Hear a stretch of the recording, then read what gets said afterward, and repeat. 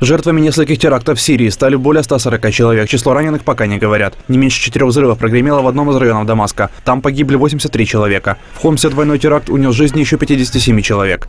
Ответственность за нападение взяли на себя боевики ИГИЛ. Между тем, правозащитники из Amnesty International обвинили Россию в вопиющих военных преступлениях. По данным организации, только за прошлую неделю российская авиация нанесла удары по полутора тысячам объектов, основная часть которых – жилые районы, больницы и школы. На фото и видео задокументированы последствия таких налетов с множеством погибших и раненых. В организации говорят, российская авиация и асадовцы проводят зачистки. После нанесения удара еще один налет. В результате гибнут те, кто оказывает помощь пострадавшим.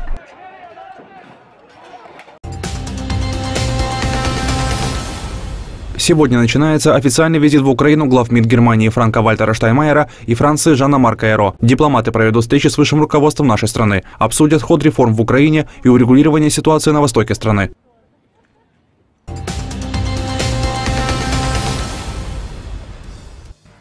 В Боливии прошел референдум о выдвижении президента на четвертый срок. По предварительным данным, больше 50% жителей страны отказали Эво Моралесу в этом праве.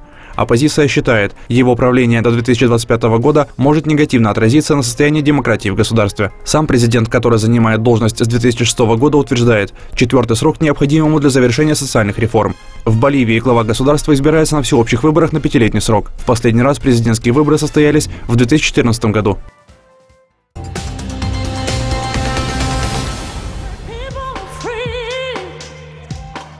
На песенном конкурсе Евровидения Украину представит Джамала. Такой итог голосования зрителей и жюри после выступления шести финалистов. Напомню, в этом году Евровидение пройдет в Стокгольме в мае. На конкурсе певица представит песню «1944». Она рассказывает о трагической странице в истории крымских татар – депортации с исторической родины, организованной сталинским режимом.